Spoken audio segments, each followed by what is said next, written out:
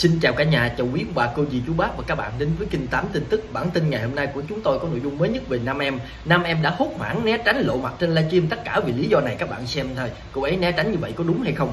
Vì phát ngôn ồn ào trên mạng xã hội, Nam Em đã bị Sở Thông tin và Truyền thông ở Hồ Chí Minh á, phạt 37,5 triệu đồng.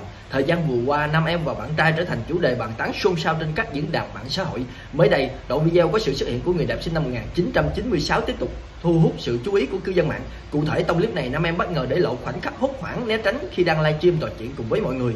Nguyên nhân là do cô bất ngờ để lộ mặt mộc không son phấn, không có cài cái ứng dụng filter làm đẹp gương mặt, mắt ạp rồi, trời ơi hết hồn luôn, nhìn như mấy bà ngoại 80 vậy á. Nam Em chia sẻ như vậy trên sóng livestream của mình.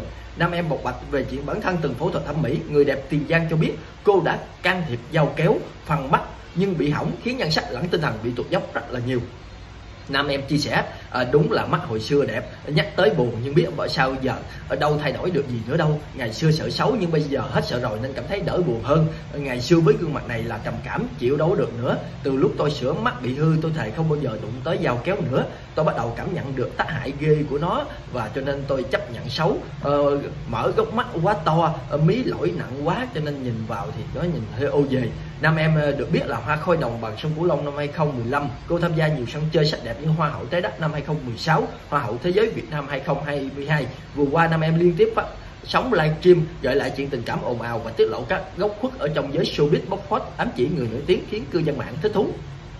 Những nội dung của nam em đã bị cơ quan chức năng đánh giá là gây ồn ào cư dân mạng và có động thái là tiêu cực.